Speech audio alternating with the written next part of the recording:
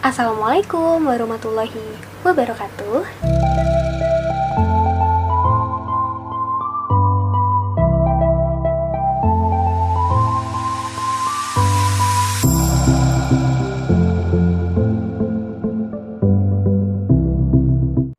Back to my channel, ketemu lagi dengan aku Dita dan di video kali ini aku mau ngasih rekomendasi serta review untuk beberapa produk dari salah satu brand ternama yaitu L'Oreal.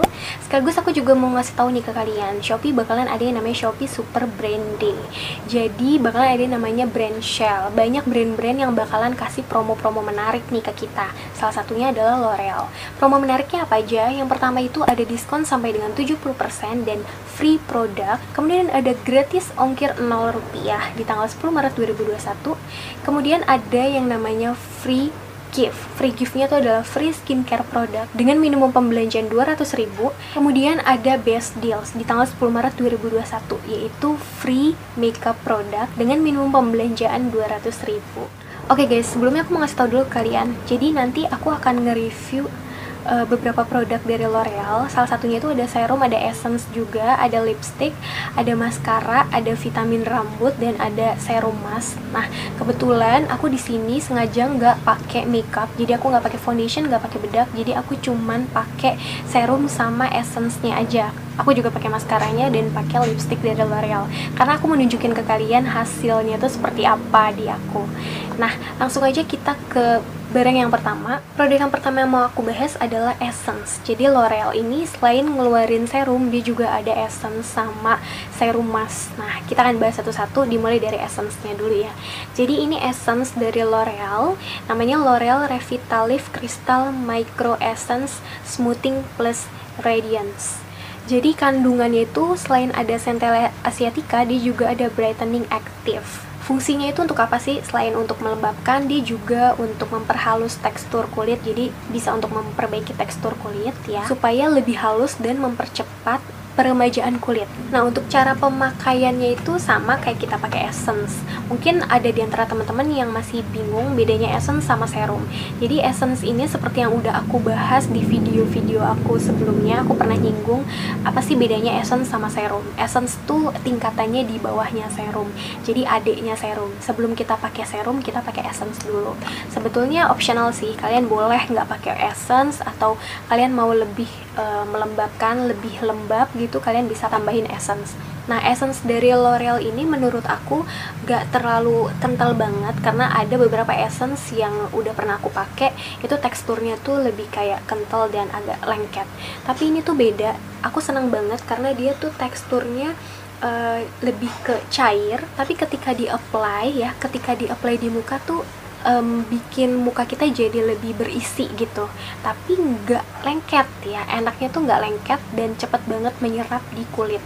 Untuk aromanya nggak ada aroma yang gimana-gimana justru kayak lebih nggak ada aroma sama sekali ya menurutku. Memang super melembabkan banget ketika di apply di muka langsung kelihatan banget sih ada efek-efek glowingnya gitu. Oke untuk produk berikutnya. Jadi L'Oreal juga ngeluarin serum Serumnya itu namanya L'Oreal Revitalift 1,5% hyaluronic acid serum. Jadi ini serum ya, serum yang udah pasti kandungannya ada hyaluronic acidnya sebesar 1,5%. Tapi hyaluronic acidnya itu terdiri dari dua jenis microhyaluronic acid dan macrohyaluronic acid. Fungsinya sebetulnya sama-sama untuk melembabkan. Bedanya kalau mikro itu dia masuk ke lapisan kulit terdalam. Jadi dia cara kerjanya tuh e, melembabkan dari dalam lapisan kulit terdalam. Kalau makro dia bekerja di lapisan kulit teratas. Jadi dia tetap mandek di lapisan kulit teratas dan dia melembabkannya dari atas. Jadi bagusnya itu dia melembabkan dari dalam dan dari luar. Nah, untuk microhyaluronic acidnya ini selain dia untuk melembabkan, dia juga fungsinya adalah untuk membuat kulit kita menjadi lebih kenyal. Sedangkan kalau untuk makro, dia udah pasti untuk melembabkan dan juga untuk uh, membuat kulit kita menjadi uh, lebih halus, teksturnya lebih halus. Jadi ada fungsi untuk uh, memperbaiki tekstur kulit kita gitu. Selain itu juga ada fungsi yang bagus banget yaitu untuk uh, menghilangkan kerutan-kerutan di wajah. Cuman kalau untuk kerutan yang memang udah terjadi, aku nggak bisa jamin langsung hilang dengan cepat ya. Pasti ada proses dan waktunya. Tapi ini bagus banget buat kita-kita yang mungkin belum ada kerutan jadi bisa untuk pencegahan dari sekarang. Kemudian uh, aku mau bahas mengenai packagingnya. Botolnya tuh kayak gini sama seperti botol serum pada umumnya cuma dia tuh lebih memanjang ya. Dan menurut aku ada sedikit kesan mewahnya gitu. Ini pipetnya enak banget pipetnya bener-bener mantep banget nggak lembek gitu ya. Terus kayak kokoh gitu botolnya itu dia kaca dan transparan jadi bisa kelihatan ya isi serumnya.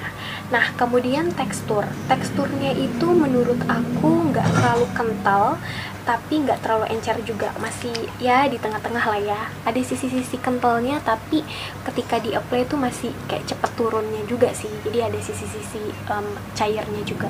Ketika ini di apply di muka um, aku ngerasa langsung ada efek glow upnya gitu. Jadi langsung kelihatan um, efek cerah sama glowingnya gitu.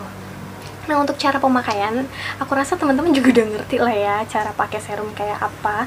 Kalian bisa taruh di uh, telapak tangan atau kalau aku biasanya lebih seneng uh, langsung aku langsung tetesin di wajah aku tiga tetes gitu. Tapi ingat ujung pipet jangan sampai mengenai di bagian wajah kalian supaya nanti serum di dalamnya tidak terkontaminasi. Kebetulan aku juga punya yang ukurannya 15 mili. Jadi ini ukuran 30 mili yang ini ukuran yang uh, eh, 15 mili.